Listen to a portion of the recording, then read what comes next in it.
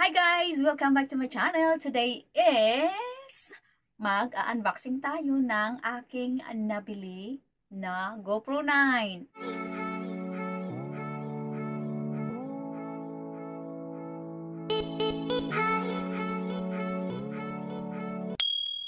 Yes! Mag-unboxing tayo. But before that, kung hindi pa kayo subscribe sa aking channel, pa-subscribe na lang ng aking channel or kung bago kayo sa aking channel, don't forget to subscribe on my channel at pakihit na rin lang ang notification bell para notify kayo every time na may bago akong video. So, let's get started guys! Mag-unboxing na tayo. As you can see guys, is meron pa akong GoPro 8 But, dahil kalalabas lang ng GoPro 9, so, naintriga ako, naintriga ako, naintriga ako kasi mas maganda ang uh, GoPro 9 kasi, uh, tawag dito, removable yung screen niya na hindi gaya ng 8. Ngayon yung 8 kasi hindi siya ma-remove yung screen niya or uh, what I mean is uh, not uh, replaceable.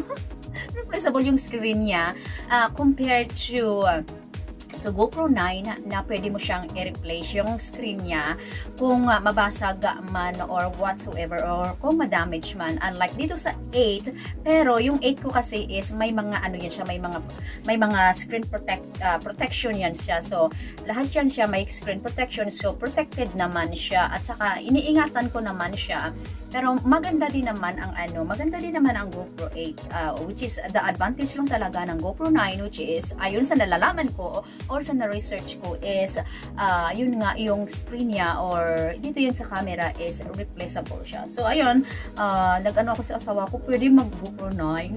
pwede mag-upgrade sa GoPro 9 which is, oh, di ba? Bait naman talaga ng asawa ko, di ba?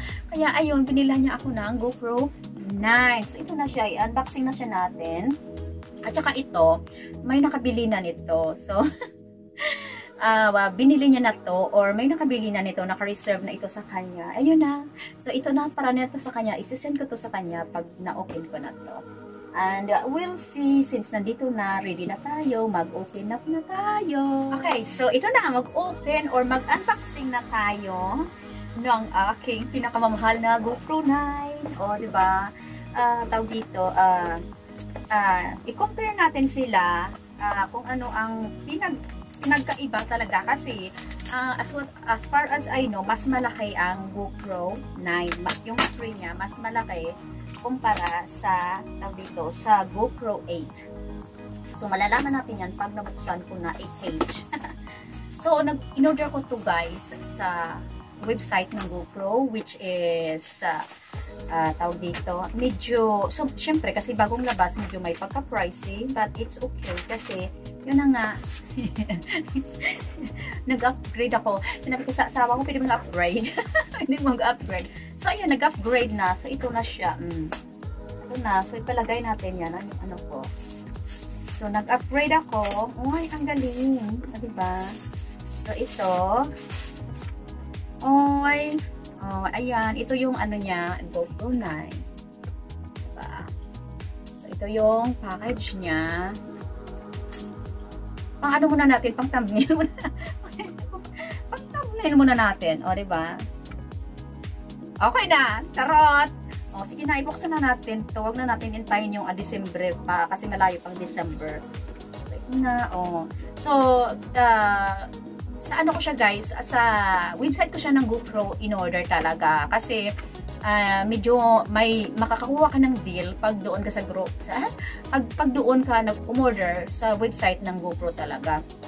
So, inintay ko siya mga 2 days uh, shipping. Sabi nila 2 days shipping for it. Pero, inabot siya ng 5 days. Pero, it's okay lang kasi natanggap ko na siya. Yeah, excited tayo guys. Excited tayo. Akala mo ba naman, ang paraging nag-upload ng video, no? Na talaga may pag-GoPro 8, may pag-GoPro 9. Hindi kasi, di ba, nakaka-excite lang din naman na, o, di ba?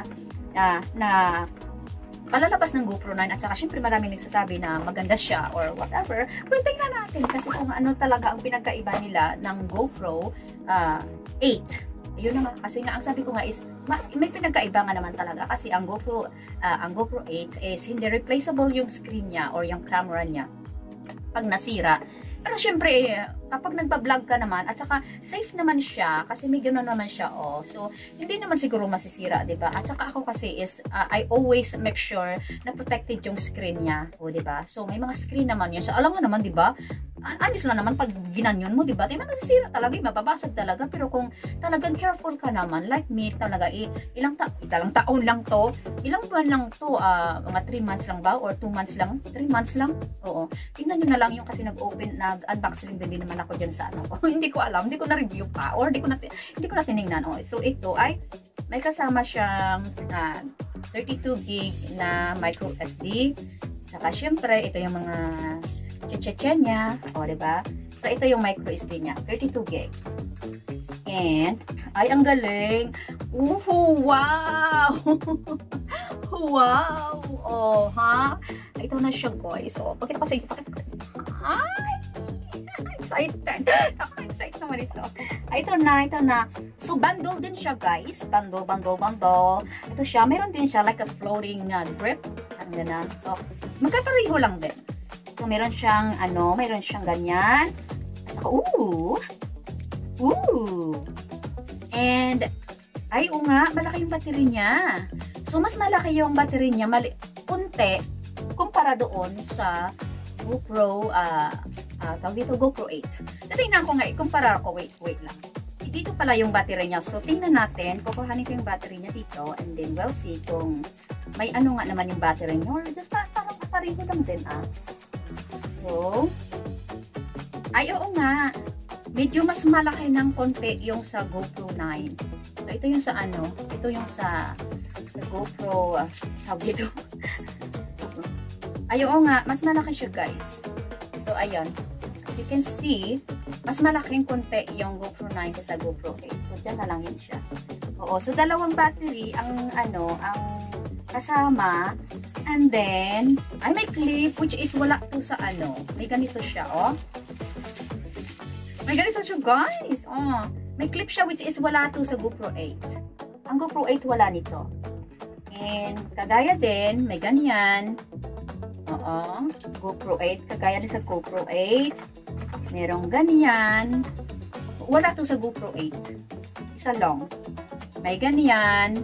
Oh, may ganyan. At saka may ganyan. Okay, and then, Nandiyaran! Aray, sana, sana, sandali, sandali. At syempre, ito yung cord niya sa USB. Ano na? Ano na? Sandali. ito na. Palo pa pa. Ayaw pa. Ayaw pa lumabas. Ay! Ayun na. Kaloka pa. Ayaw pa pa lumabas. Arte ka pa dyan. Oh, ay, oo. Oh, oh. It is. Malaki nga siya, guys. Malaki nga siya compare. Oo, malaki. Compare sa GoPro 8. Medyo malaki nga ang GoPro 9. Ay, ang galing naman. I-sit up natin. O, diba? I-sit up na natin. Sana yung floater niya. Floating. Ay, excited naman yan. So, pareho lang sila, no, diba? Ayan. They are the same pero kunin na muna natin since na-open ko na siya, kukunin na natin siya. O, diba? O, sige na, ito na. Buksan na natin. Huwag na natin patagalin pa. Pinapatagal pa kasi. Ang, uh, as far as I know, or ang na-research ko is yung uh, GoPro 9 is uh, 5K, which is ang, ang, uh, ang, ay, saan na? Diyos me. Sadali! Masyado ka magula. Wait lang. Ang GoPro 8 is 4K ang uh, sa video, ang GoPro uh, 9 is 5K. At saka yung camera niya is, uh, ang GoPro 8 is 12 megapixel lang. While ang GoPro 9 is 20 megapixel. Ang laki talaga ng diferensya niya. It comes sa camera. Diba? So, kaya, parang naintriga ako dito. Naintriga talaga. Na, naintriga ako dito na mas mataas yung resolution ng camera niya or yung camera niya, whatever. Kasi hindi naman ako magaling sa camera-camera na yan eh. Ang alam ko lang, maganda ang kuha niya. ang alam ko lang is makapag-video ako, tapos na. Ayan. At saka syempre, maganda naman kasi ang GoPro talaga is dahil sa, comes sa stabilizer talaga is super, super, super talaga ang GoPro. So, kaya ayun, uh, kaya ayun nagpaano ako, nagdadrama ako sa asawa ko. Pwedeng mag-upgrade tayo. O, kaya ito na siya, oo. Oh, Kuha na na natin. Oh, na-undress ko na siya. Ay, oo nga, oh, guys, oh. Malaki yung screen niya, guys. At saka, at saka ang kaibahan sa GoPro, uh, uh, sa GoPro, uh, whatever, GoPro 9 is, uh, yun na nga sabi ko nga is replaceable yung camera niya, I, I mean yung screen niya. Unlike sa unlike sa GoPro 9, uh, I mean unlike sa GoPro 8 na hindi siya replaceable. And ang pagkaiba pa, ang pagkaiba is also is pwede kang mag-selfie dito na parang ganun lang siya. And, unlike sa GoPro 8 na kapag nag-selfie ka dapat ganon hindi ganon. Kasi dito lalabas yung yung ano yung screen ng selfie mo uh, wala siya dito. So wala siya talagang front camera ang 8 while ito is my front camera daw. Daw, hindi naman daw, kung di, meron talaga, kasi marami na akong napanood na video, may daw pa ako nalalaman. Ito nga. so, ito siya is, my, my front camera siya, kaya, ay, kaya ito ang gusto ko, which is okay din naman sa ano, sa GoPro 8 guys, kasi widescreen naman siya, which is ang galing naman ng pagkatama. At saka, uh, uh, practice makes perfect. hindi na talaga ako masyadong nagpa-practice, kaya hindi siya perfect. Ganon lang yon Kaya, tinatamad lang talaga ako. Kasi guys, ang bilis-bilis naman mag-video kasi, kung minsan naman kasi, hindi talaga minsan, kundi ang hirap talaga mag-edit ng video. Kaya yon at saka ito na nga, bumili na naman ako. Iwan ko lang. oh, talaga ilagay na lang natin 2 cents. Nandito na rin lang naman ako sa inyong harapan. Sige na, ayusin na natin. Oh, di ba? So, ayun na guys is, uh, or mamaya ko na siya ayusin at saka pagkatapos nito is, maayos ko siya is, i-compare ko na sa inyo ang kuha ng, kasi lang, sa, sinasabi kasi na 4K and 5K, which is kasi, ang ginagamit ko namin, di naman kasi na pag-edit, it hin is hindi pa siya, uh, kumbaga, hindi pa siya pwedeng i-use sa uh, ah, 4K at saka sa 5K. At saka, kung minsan kasi, antay lang na nga arte-arte, no, di ba? yung, yung tipong akala mo talaga is yung, yung tipong professional vlogger talaga.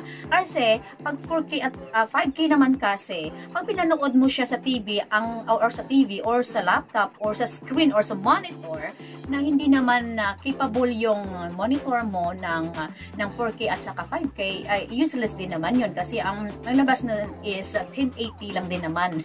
Pa-convert pa din siya sa 1080. Yung ginagamit ko na uh, editor kasi is wala siyang 5K or 4K. So, parang kumbaga is sa aking editor uh, na, na ginagamit na program is useless din naman ang 4K at saka 5K kasi hindi naman hindi ko siya magagamit sa aking editor ng KineMaster. KineMaster hello. Oo, KineMaster lang hindi naman ako kasi uh, malaking vlogger na kailangan gumastos which is may Filmora na ako nagbayad ako ng VIP.